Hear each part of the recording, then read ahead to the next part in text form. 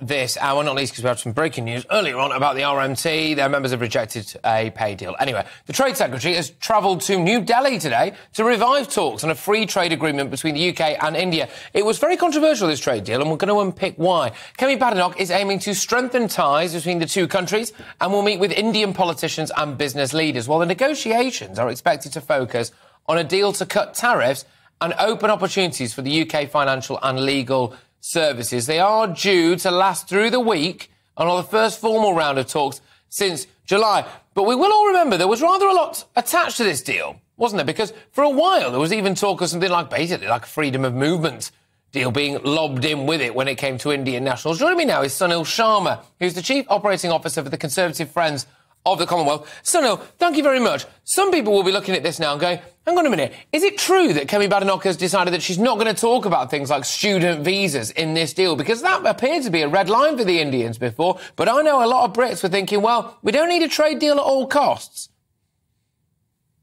Yeah, I, I don't think um, they'll be discussing about sort of freedom of movement between the two countries. I think geographically it makes no sense for both countries. I think strengthening ties on trade and trade alone that, that, that in itself is you know largely complex. I think that requires a lot a lot of time and it's, it's a great opportunity for India and us. And I hope they focus on that specific area.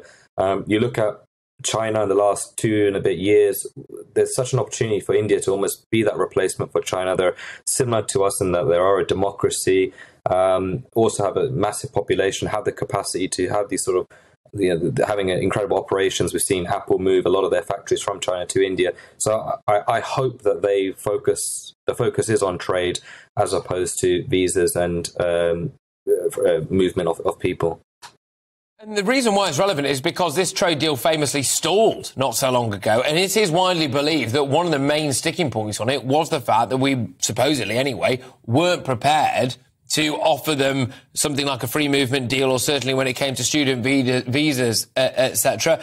But this is important, isn't it? I think for the government to actually get something sorted here, to get this done, because they need a win, don't they? And actually, a massive bumper trade deal with India would be that.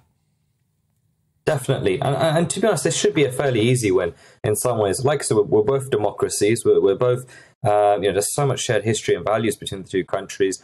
In Narendra Modi, you can see there's a massive move towards be, uh, towards being closer with the UK and, and and the US and generally the West. For a long time, India's alliances have been more Soviet Union, Russia, and ours has been more towards Pakistan. So that there's always been that almost uh, subtle bit of rivalry between the two countries. There hasn't always been a very cohesive strategy.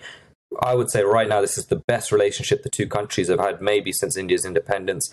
In particular, when Boris Johnson who was fantastic in breaking down that barrier between the two countries. So it's a really good opportunity now for almost Rishi to take some of that credit and really uh, do a, a, nice, easy trade deal. Because, like I said, these are two countries that want to work closely together. So I don't perceive this as being too difficult